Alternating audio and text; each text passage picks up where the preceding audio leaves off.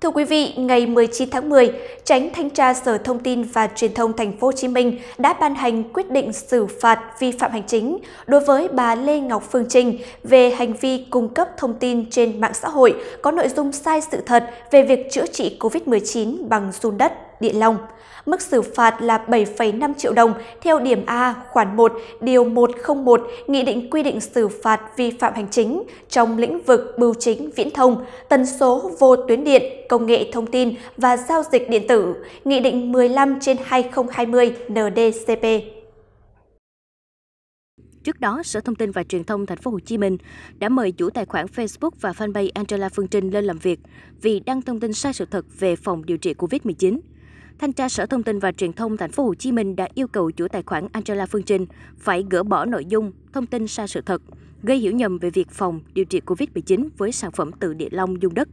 Sở cũng có giấy mời chủ tài khoản lên làm việc vào ngày 25 tháng 8 để làm rõ và có cơ sở xử lý theo quy định. Tuy nhiên, do thành phố Hồ Chí Minh còn trong thời điểm giãn cách xã hội theo chỉ thị 16 từ ngày 23 tháng 8, nên buổi làm việc được dời sang thời gian sau này.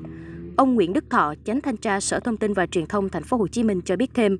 chủ tài khoản mạng xã hội Angela Phương Trinh đã thực hiện việc gỡ bỏ các thông tin liên quan đến việc phòng điều trị COVID-19 của sản phẩm từ địa long dung đất vào ngày 19 tháng 8 trên tài khoản Facebook và fanpage của mình. Trước đó, trên Facebook, tài khoản Angela Phương Trinh đã có đăng tải bài Cơ sở khoa học để khẳng định địa long chữa được Covid. Bài viết đã gây nhiều dư luận đồng tình lẫn không đồng tình. Trong đó, Thạc sĩ Trần Minh Ngọc, Phó Cục trưởng Cục Quản lý Y Dược Cổ truyền Bộ Y tế đã khẳng định với vai trò của cơ quan quản lý và cấp số đăng ký lưu hành thuốc cổ truyền, chúng tôi khẳng định đến thời điểm này, Bộ Y tế, Cục Quản lý Y Dược Cổ truyền chưa cấp số đăng ký thuốc cổ truyền nào có thành phần địa long có tác dụng hỗ trợ điều trị COVID-19, cũng chưa nhận được bất kỳ báo cáo khoa học nào chứng minh hiệu quả hỗ trợ điều trị COVID-19 của địa long. Sở Thông tin và Truyền thông Thành phố Hồ Chí Minh cũng khuyến cáo việc mời chủ tài khoản Angela Phương Trinh làm việc nhằm tránh việc tin tưởng sử dụng các sản phẩm điều trị COVID-19 không được Bộ Y tế công bố đang được lan truyền trên không gian mạng. Sở Thông tin và Truyền thông Thành phố Hồ Chí Minh đã phối hợp với cơ quan chức năng xác minh, xử lý hành vi cung cấp thông tin quảng cáo, giới thiệu sản phẩm không đúng hoặc gây nhầm lẫn về khả năng, chất lượng của sản phẩm, hàng hóa, dẫn đến thiệt hại nhất là cho sức khỏe người sử dụng.